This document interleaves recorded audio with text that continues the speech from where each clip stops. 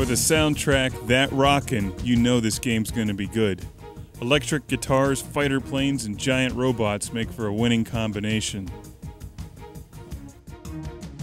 This is kind of an odd game and certainly not a very famous one. I forget where I even found out about this one, but I like vertical shooting games like this, where you're the lone spaceship, of course, fighting countless enemies who are all idiots and fly at you in predictable formations.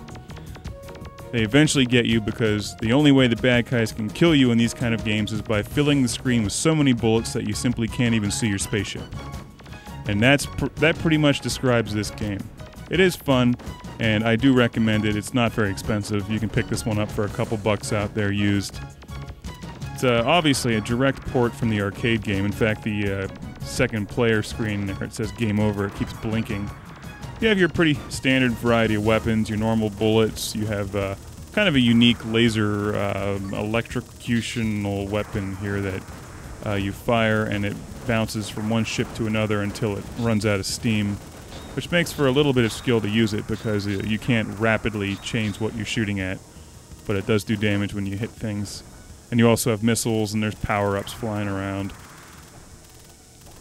Now, I actually captured this footage off the PlayStation 3.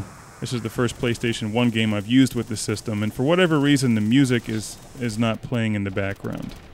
Uh, but rest assured, there is music. Your weapons get powered up. You see here that my uh, single shot is now turned into a full screen shotgun, wiping out wave after wave of enemy. Uh, it's a little annoying that the, sides, the, the sides of the screen don't go away, obviously keeping the original uh, aspect ratio of this game, which was more of a it's like 16 by 9 laid on its side. And this is uh, one of your stereotypical end bosses, your giant flying wing shooting lots and lots of cannons at you. And listen to the sound effects here.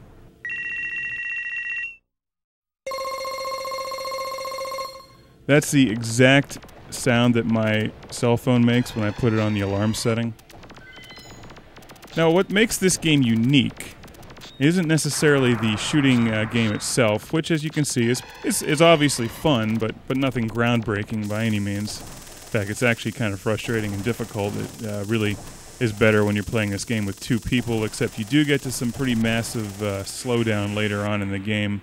Found that out a couple weeks ago playing with a friend of mine.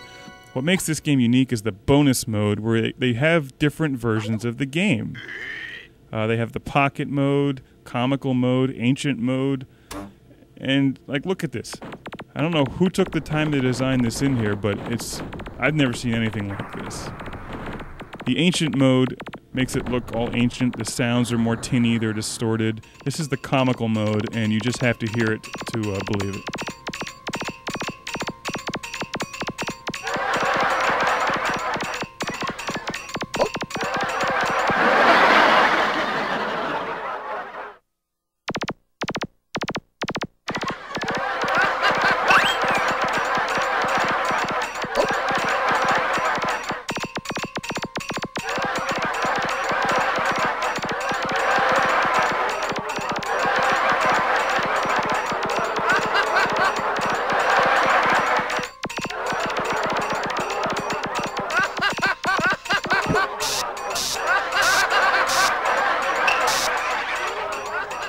Who sat around in a, in a programming or business meeting and said that this was going to be an, a good idea to take development time and do this?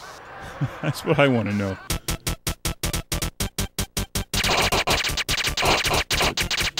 This is just so bizarre, and this this makes this game worth picking up alone right here.